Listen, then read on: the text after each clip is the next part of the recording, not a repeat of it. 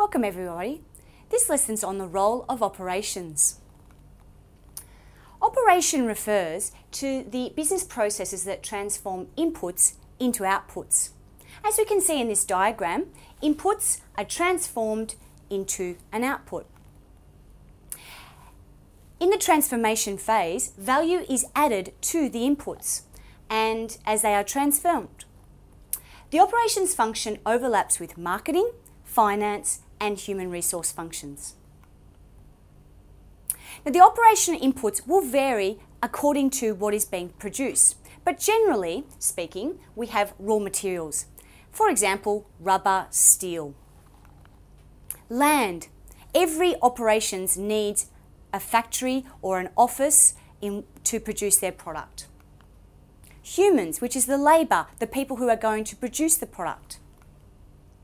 Machinery, which can also include technology. Money, we also use the word capital to define money. Information, which may be the, the discussions that take place at the workplace. Time, which is a very crucial element. Skill. And then we have our outputs. All outputs are called products. Depending on the business, they're going to be a good, for example, a car or a piece of furniture or a service such as a haircut or going to the dentist.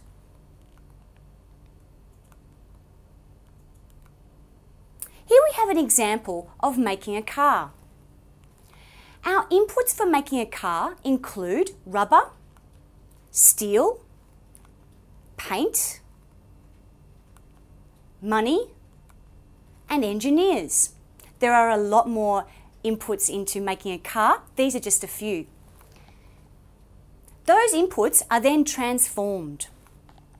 We need to cut, drill, weld, design, and assemble those inputs. They are then transformed and value is added at this stage here. And in this particular example, we have made a car which is a Holden Astra. Now, as mentioned previously, it's very important that the operations function doesn't work alone. They need to work with the marketing, finance, and human resource functions as well. In the modern day business, it's very important that the customer is always placed first in every process that the business conducts. It depends on the business what the customer needs, but just generally speaking, we say that customers across the board want to operate a low cost and they want the business to minimize waste. They want these two factors because if the business is able to operate at a low cost and minimize waste, then the retail price of the product will be reduced for the customer, and that's very important to us. Customers are becoming very environmentally aware these days. They expect businesses to conduct themselves in a way that won't affect the environment for future generations. And they're also concerned about fair value for labour.